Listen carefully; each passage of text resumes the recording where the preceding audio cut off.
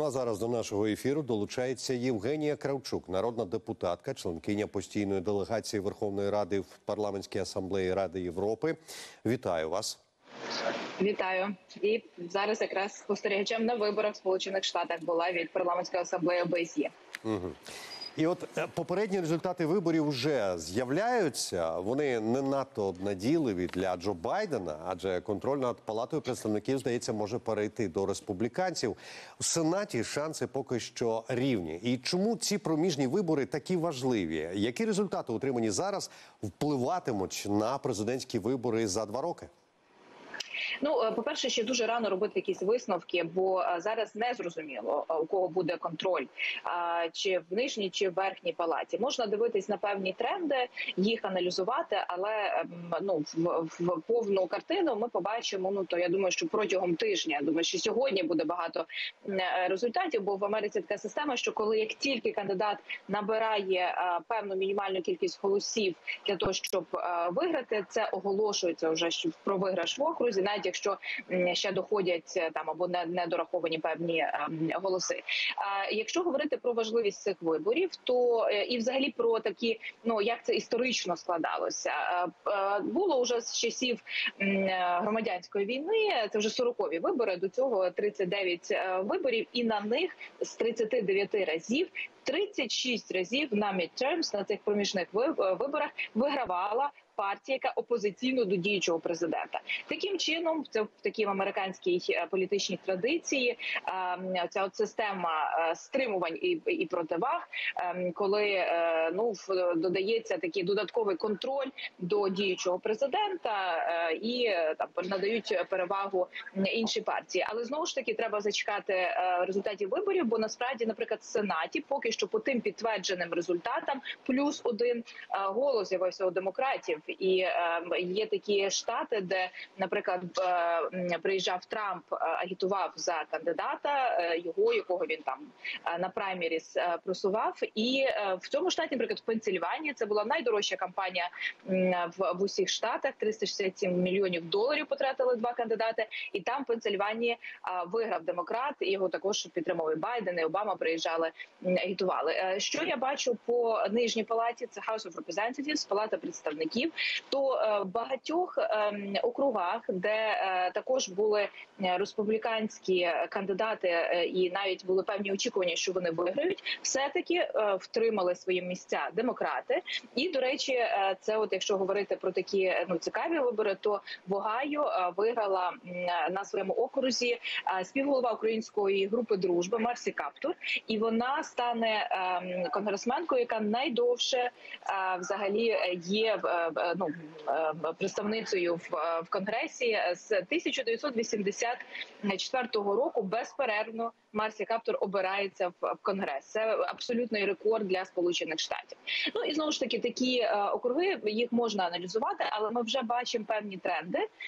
Що е, я ну я переконана, е, що не буде якогось такого дуже дуже такої різкої зміни чи переваги, і ми збережемо двопартійну підтримку. Чому це важливо? Двопартійні двопартійна підтримка фактично гарантує проходження е, збільшення коштів на. Ем, допомогу Україні на е, більш таку суттєву і довгострокову е, військову підтримку. Усі виділені коштів, ленд-ліз, все, що голосувалося по Україні за останні е, два роки, тобто коли був попередній конгрес, всі вони були підтримані депутатами з обох партій. І я переконана, що так і і залишиться, і продовжиться надалі. І це наша якраз мета, щоб мати підтримку обох партій і демократів, і республіканців. Пані Євгенія, але ми з вами розуміємо, тим не менше, що принаймні зараз велика кількість українців відчуває певну ну напругу від а, того, що бачать і чують зі сполучених штатів, і ми розуміємо також цим з чим це пов'язано, і ми знаємо, що думки про позиції е, про те, що Україну взагалі не треба підтримувати, е, підтримувати, вони теж є у американському конгресі. От, наприклад, е, конгресвумен із Джорджії Маджорі Тейлор Грін вона заявила нещодавно, що від республіканського конгресу Україна не отримає ні копійки, ні центу. Так наскільки імовірно те, що Якщо ідея присутня у конгресі, наскільки ймовірно, що ця ідея може поширитися і навіть превалювати з часом? Е, Ну, все таки це дуже такі радикальні заяви, які е, не мають відображення в е, переважної кількості конгресменів і їхніх думок. До речі, ця конгресменка пані вона виграла, і вона дійсно в Джорджії. І мені здається, що такі заяви, ті, які вона робила, вони були ну дуже сконцентровані саме на внутрішнього споживача. Бо ми, ми звичайно, знаєте, нам подобається країні, подобається жити в такому країноцентричному світі, коли все так ми, ми е, шукаємо всі будь-які е, е, зв'язки. Але насправді оці от такі меседжі, вони їх можна перекласти ще таким чином, що там ця ця конгресвумен, вона каже, що я ну більше думаю там про своїх виборців, але це дуже такі дуже праві, так праве крило, і насправді таких людей не так багато. І якщо знову ж таки дивитись по, по виграшам чи по програшам кандидатів, е, які ну якраз дуже такі радикальні е, ідеї е, займали, то їх ну я б не сказала, що це е, так багато, і це точно не превалюючі ідеї. Але чи треба буде нам працювати більше з новим конгресом? Новий конгрес присягу складе 3 е, січня. Так безумовно треба, тому що зайдуть взагалі нові люди, які ем, не були конгресменами до цього, які ну в принципі не, не дуже мабуть і цікавилися зовнішньою політикою, а більше концентрувалися на якихось внутрішніх проблемах. Тому ми, як депутати, як парламентарі українські, безумовно будемо спілкуватись, будемо пояснювати. Дуже хороший є е, зв'язок на рівні президентів.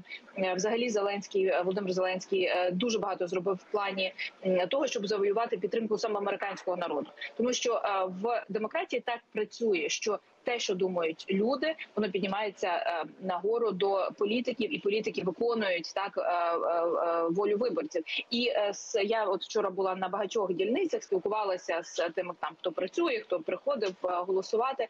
Коли чули, що ми з України, спостерігачі, вони всі говорили, всі американці, виборці, так що ми вас підтримуємо, і ми хочемо. Ми за вас молимось, і ми хочемо, щоб ви виграли.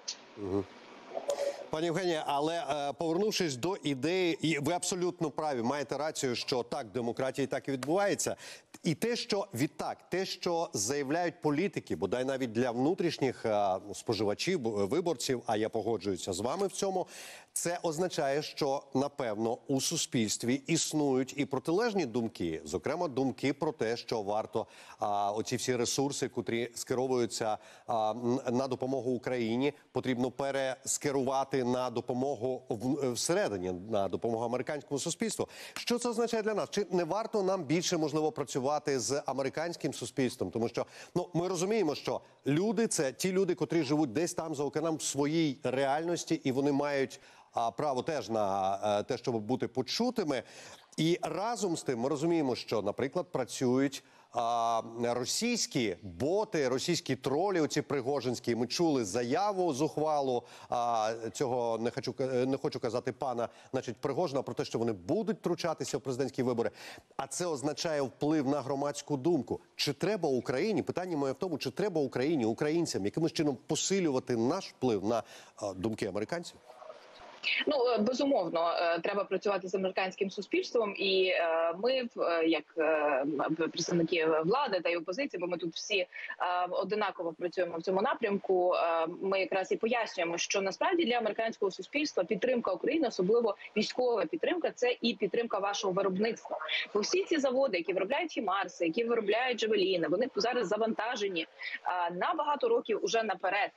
І е, це е, ну фактично ці кошти, які виділяються на військову підтримку, вони все одно повертаються в Сполучені Штати в вигляді конкретних робочих місць. І мені здається, що це хороший аргумент, який працює в тому числі на внутрішню аудиторію. Звичайно, людей тут е, турбують, що там виросли ціни на, на бензин, якась інфляція на продукти. І, і знову ж таки, ми пояснюємо. Ви знаєте, ви кажете, що ва- вас там зліз трошки чек на бензин, вам дорожче заправляти авто. А а ми платимо життям. Так і, і це е, е, не можна ні, ніяким чином ці життя повернути, але можна е, людей захистити, дати нам більше зброї, більше можливостей зараз, щоб ми це виграли і припинили. Бо в принципі ніхто ж не, не хоче воювати безкінечно. Ми, ми, Україна, зацікавлені перші, щоб виграти набагато швидше. Для цього нам е, потрібна та кількість зброї, яку ми просимо, санкції і фінансова підтримка. Тому е, зараз що буде от відбуватися е, е, найближчим часом, які такі milestones, да, най- най- найближчі е, важливі речі для нас. Е, Наприкінці листопада, на початку грудня, буде голосуватись наступна бюджетна резолюція, буде продовжуватись так е, фінансування, бо ще повний бюджет е, вже буде приймати новий е, конгрес. Е, Але знову ж таки ми будемо працювати, щоб там була е, зафіксована підтримка України, і вже потім з новим конгресом з січня е, над е, е, теж додатковими е, додатковими коштами і е, сигнали, які ми отримуємо, то це сигнали про те, що Звичайно. Е, Сполучені Штати будуть Україною до перемоги. А з приводу російського впливу Євгенія, мені здається, що вибачте, це що е, це даруйте, будь Так. ласка, даруйте. На жаль, е, час нас закінчується. Ну добре, я А- скажу, що його нема. Бо це wishful thinking. Це коли хочуть бажане бажане за потрібне видавати. Що вони такі модні, Все. але в них це не Ні, ні, виходить. ні, абсолютно. Ну їхня риторика і реальні справи. Ну настільки контраст, що ми розуміємося. Пані Євгенія, я дуже вам дякую за е, розмову. дякую На жаль, в нас замало часу. Дуже шкодую з цього приводу, але ви обов'язково за можливості ще, будь ласка, включайтеся. Буду радий вас бачити. Буду рада. Дякую вам, гарного дня. Це була Євгенія Кравчук, народна депутатка і членкиня постійної делегації Верховної Ради у парламентській асамблеї асамблеї Ради Європи. Дякую.